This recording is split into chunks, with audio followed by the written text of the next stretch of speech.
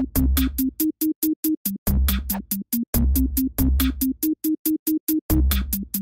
Carvana has been one of the most eventful business stories of the past decade. There's a lot to respect and a lot to criticize. It seems like there's always something new and unexpected happening. If you have not been following everything as it unfolds, let me try to briefly catch you up because you're going to want to hear this. Carvana has been described by the company itself as the Amazon of used cars, and I think that's a great way to put it. They are an exclusively online retailer of used cars. They were the first to do it in such a big way, and many would tell you that they have disrupted their industry I think I'm safe in saying that the thing that they are most known for are their car vending machines. Maybe you've seen these 10-story structures filled with dozens of used cars. I have not personally used one, but if you have, tell me about your experience because it sounds like fun. It was all a unique enough concept that became really successful before falling tremendously. I will look deeper into the figures, but to get an idea of how things have been going, all you have to do is look at the stock price. Holy cow, in August of 2021, it was trading at more than 300 $75 a share that has since been reduced to less than $10. That is $58 billion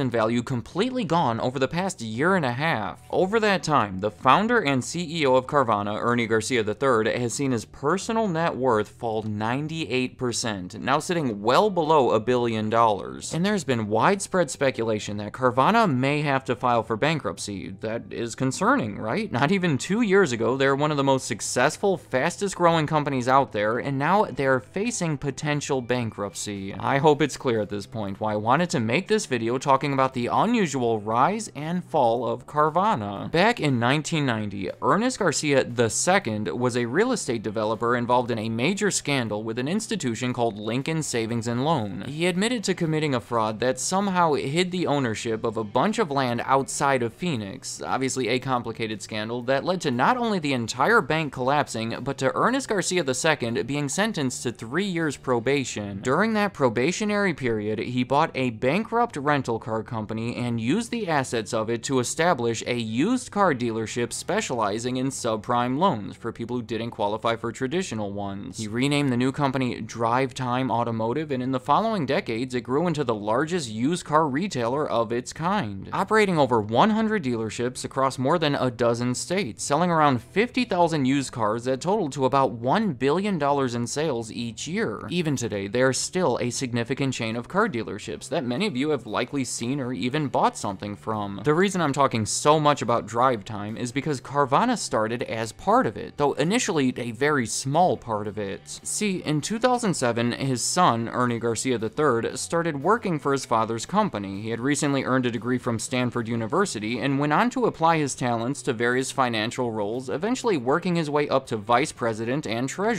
Over his five years with Drive Time, he became knowledgeable about trends that were happening within the industry, notably the increasing role that the internet was having on the car buying process. He learned that almost everybody was performing some kind of online research before ever even going to the dealership. They were spending hours on a dozen different websites, in many cases learning more that way than they were from the salesman. It made him believe that the entire process could potentially be done online and that many customers would actually actually prefer it that way. So in 2013, Drive Time provided $50 million in funding to establish Carvana as a subsidiary of theirs. Later that year, they opened their first car vending machine in Atlanta as a way for customers to pick up the cars that they had bought online. It was officially labeled as an automated parking system and was filled with cars that they bought at dealer auctions. A big benefit of the system is simplicity. It completely takes car salesmen out of the picture because it turns out that a lot of people don't really want to deal with car salesmen, so many customers find the direct approach to be quicker, easier, and less stressful. Uh, plus, with the money that they're saving on the simplified structure, they're able to pass the savings on to the customer. Typically, they have sold their cars at prices that have averaged well below the Kelley Blue Book prices. Carvana's system can also lead to a better selection of cars available to the customer. They use proprietary algorithms when acquiring the cars, uh, put them through their 150 point inspection process, and then pool all of them together from across the country. That approach does seem to provide more options when shopping at Carvana over other dealerships. I mean, that is sounding pretty attractive, right? Buying a used car for less money with a bigger selection, and instead of talking to a salesperson, you get to use a cool vending machine. I'm sorry if some of that sounded like a commercial for Carvana, but those are the biggest things that separate them from a traditional dealership that a potential customer may find to be attractive. One of the biggest issues, though, especially in the early years, has been getting people to try something that's so intimidating because it's new and different. They have done their best to address it by specifically advertising these benefits, building a user-friendly website that shows off the cars properly and compares the prices, and by offering a 7-day money-back guarantee. You may be hesitant to buy a car that you haven't test-driven or even seen in person, so the fact that it could be refunded will make you feel safer about making the purchase. And with all of this going for them, Carvana truly became a huge success, aggressively scaling the business to serve over 300 markets across the country. In 2015, they were on Forbes' list of America's most promising companies. In 2017, they had an initial public stock offering that raised over $200 million to help them expand further, and by 2022, they were selling over 1,000 cars a day, making them a Fortune 500 company with over $10 billion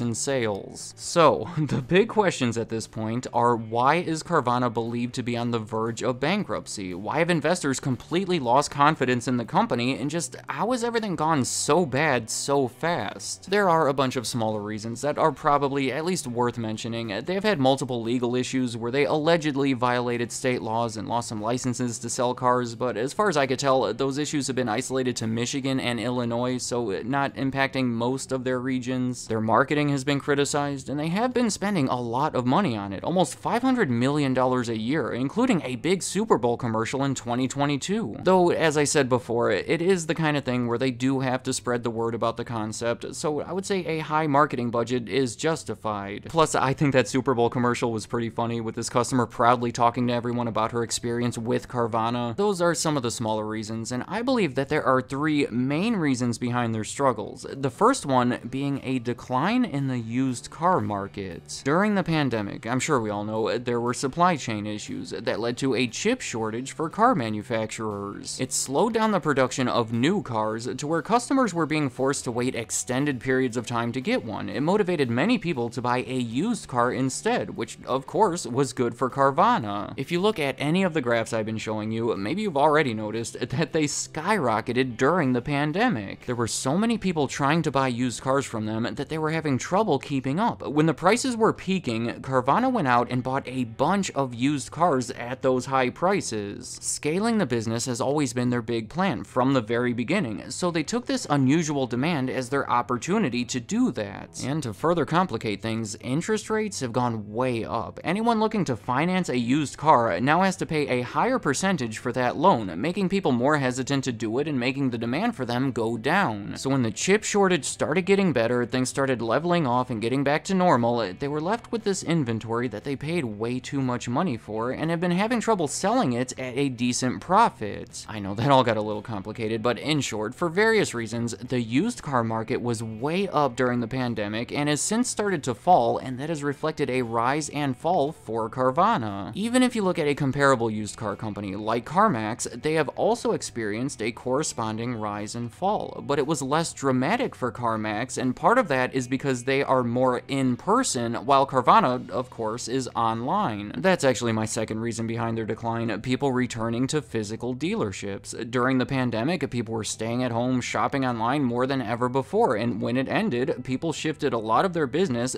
back to the physical stores. I'm sure you could see how that would contribute to the rise and fall of an online retailer like Carvana. My final reason behind the decline is their debt. It's incredibly straightforward because companies file for bankruptcy because they can't pay off their debts, and Carvana certainly has a lot of it. In fact, they have steadily been building up their debt since well before the pandemic, that's just when everything started getting out of hand. It's where most of their funding has come from over the years, considering they have never reported a yearly profit. There's nothing to reinvest. They've been absorbing the losses with hopes that once they're bigger, the concept will be efficient enough to finally start making money. It's a long-term plan that was accelerated during the pandemic, but then dropped them lower than ever when it ended. It's not like they were completely stable going into all of this, so they have been particularly vulnerable. Consider that in 2022, to. They were forced to sell cars that they paid too much money for. They had a goodwill impairment of over $800 million.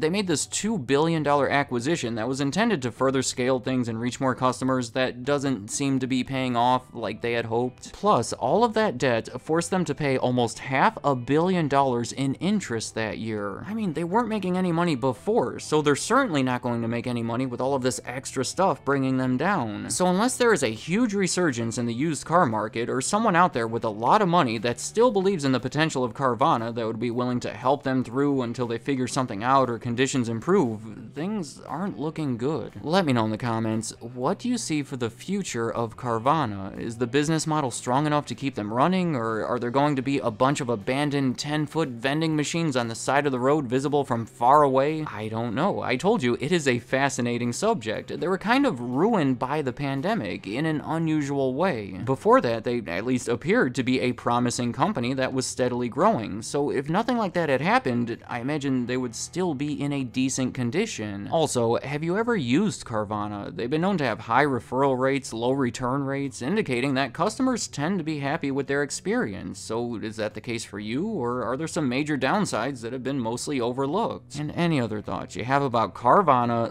leave them in the comments. I'd like to hear what you have to say. Thank you for watching.